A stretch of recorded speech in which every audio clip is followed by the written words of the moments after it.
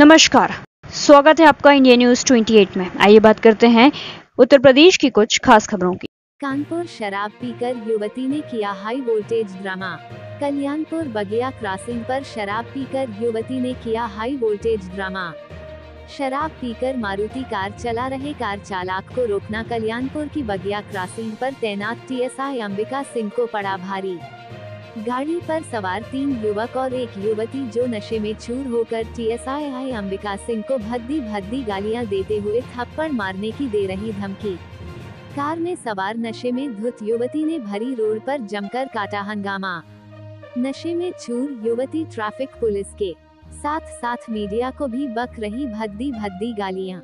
नशे में चूर युवती अपने आप को बता रही सफ़ेद पोष नेताओं का रिश्तेदार। कैमरामैन बबीता वर्मा के साथ UP state senior reporter Hamid Hussain की रिपोर्ट।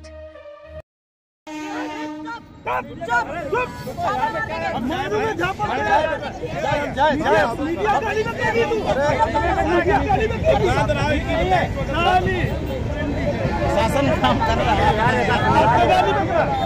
अरे तुम तुम यहाँ जा रहे हो? वैसे मैं